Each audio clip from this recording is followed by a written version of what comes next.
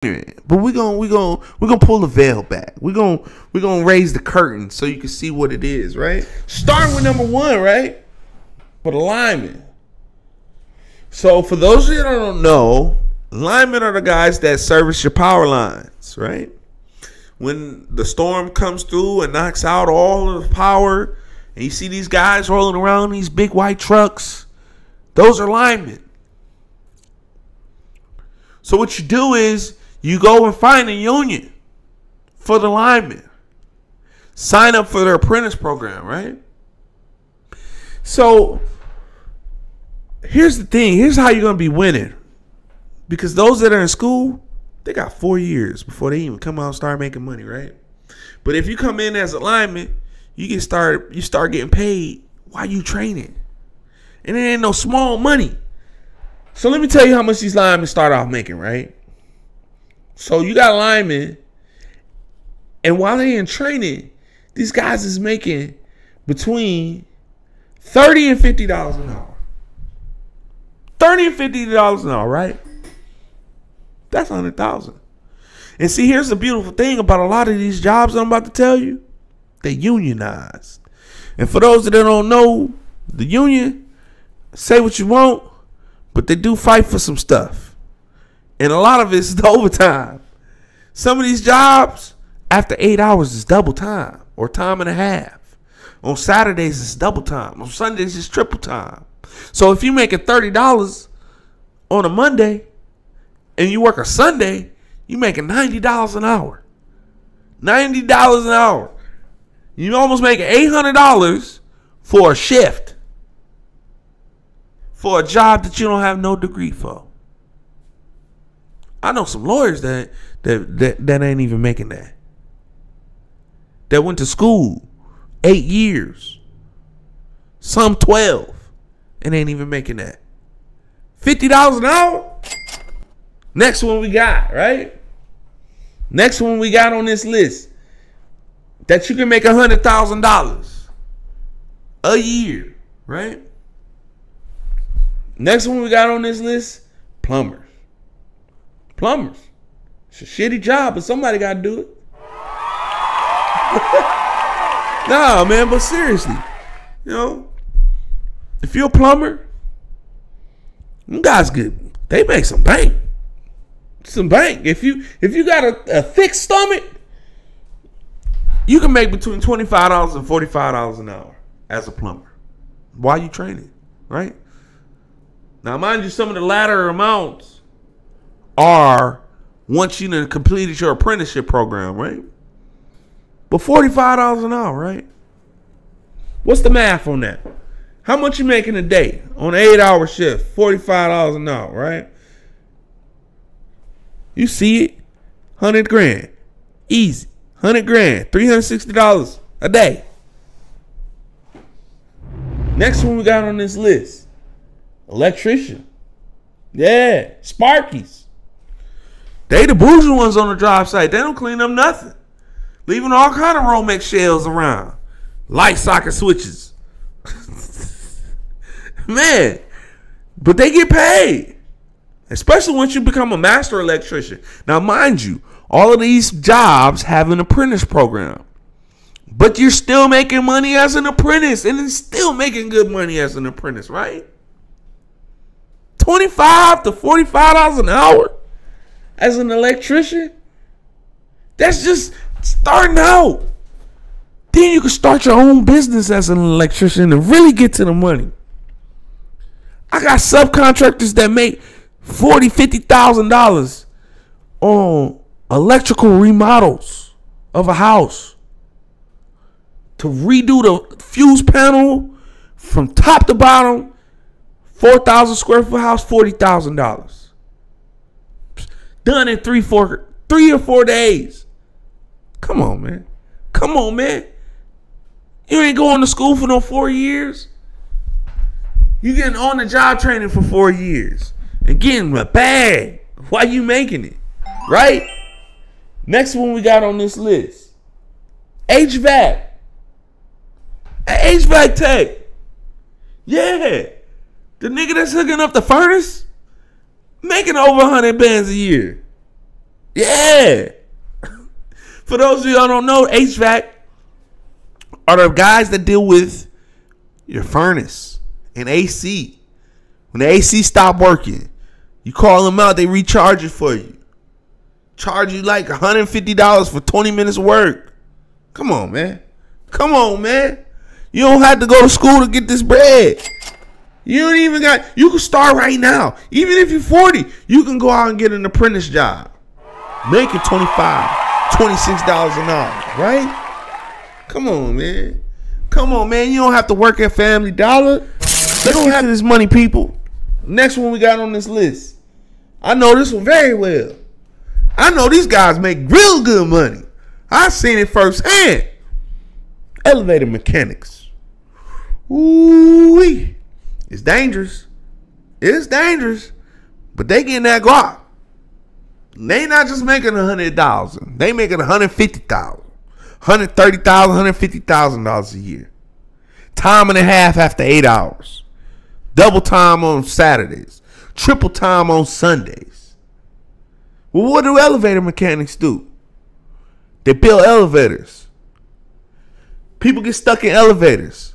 It's not the fire department that come get them. It's the elevator mechanics. Sometimes the fire department come. But the elevator companies love when the fire department come because this is more money for them. Because the fire department just going to rip the door open. Now the elevator company is to make some money because they got to send an elevator mechanic out there. And guess what?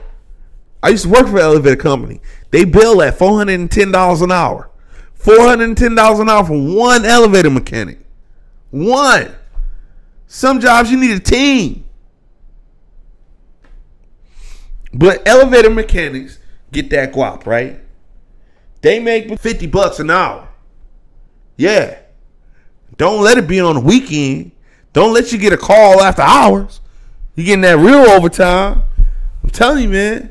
You can get some guap out here. You don't have to settle for these BS jobs, barely paying you. If you if you look at it like this, man, if you're gonna dedicate your life to somebody else's vision, why not get the most money that you can get out of it?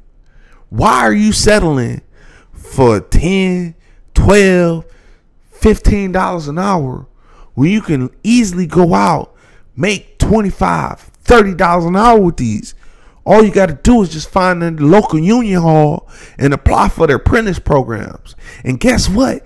It's so many vacancies in these career fields. The skilled trades is desperate. You can make so much money. I know so many people making quarter of a million, three hundred thousand dollars in skilled trades. Yeah, business owners. They not working for nobody. They running their own business. Three hundred thousand dollars, low overhead. Come on, man. Next one we got on this list. We got pipe fitters, steam fitters. You ever been in a stairwell in like a big building and they got these big old pipes coming down, going to a boiler maker to produce steam, to produce heat for a building? Them the people that put it together. I don't know much about them, but they get that guap. Let me tell you how much these guys is making, right? Starting out, you at twenty five to forty dollars an hour, right? Come on, man. Seventy to hundred bands. Seventy bands while you getting trained on the job training. You getting paid seventy thousand. I don't know how much clearer I got to make this, y'all. Like it's it's not difficult to be a high value man. I'm giving y'all the gems. To be a high value man, you gotta make over hundred thousand years for three years or more.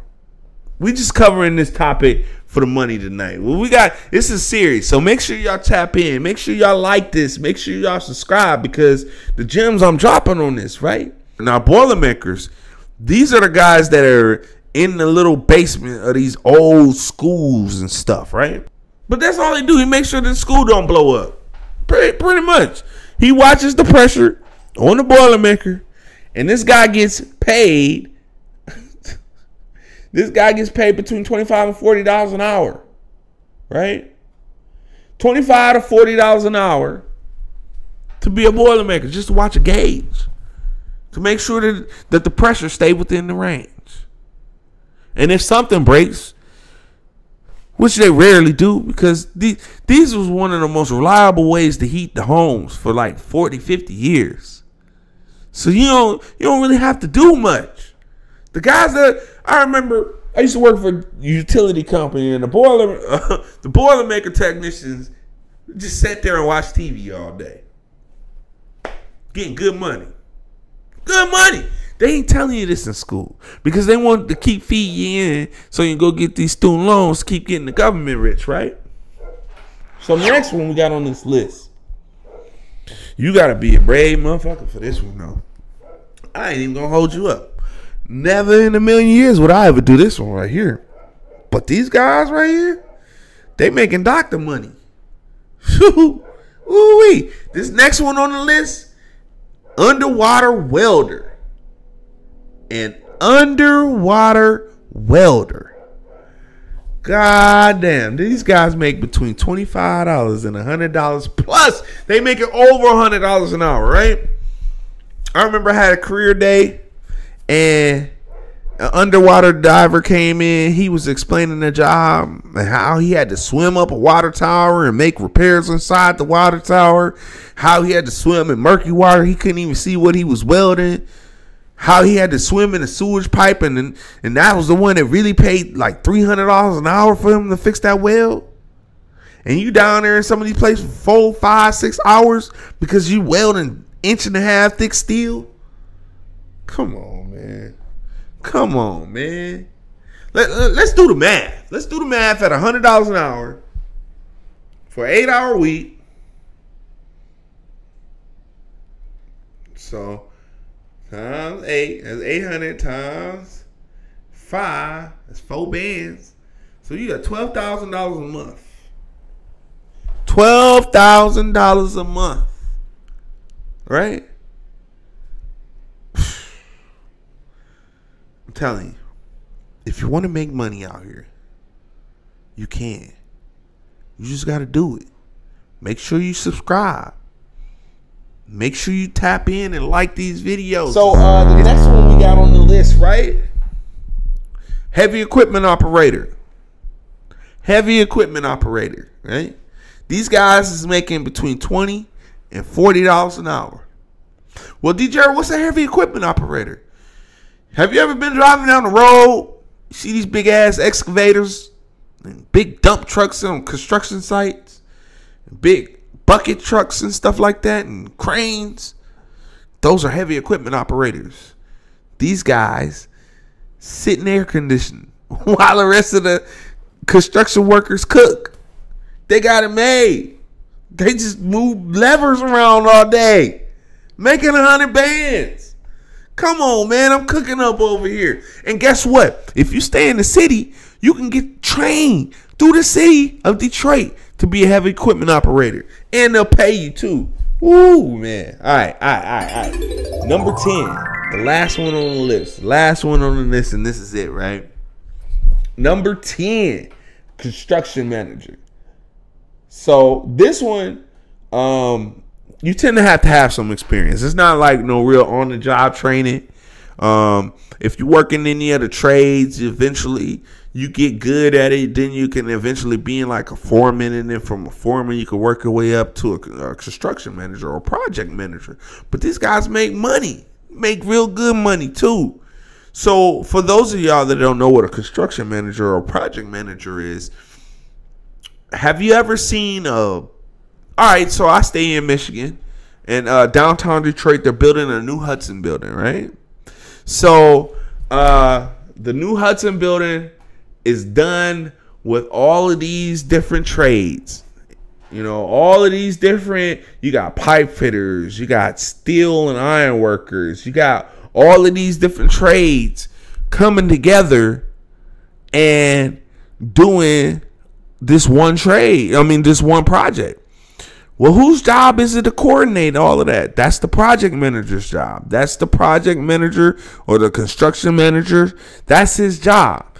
His job is to say, okay, I got the foundation guys coming in on the first, and uh, the following two months later, I have the the steel workers coming in to erect the, the frame. Then I got the glass guys coming in to start putting the glass on the buildings. Then I got the electricians coming in and the plumbers coming in. It's his job to make sure that all of these jobs line up perfectly. And it's his job to make sure that the project comes in under budget or on budget and on time.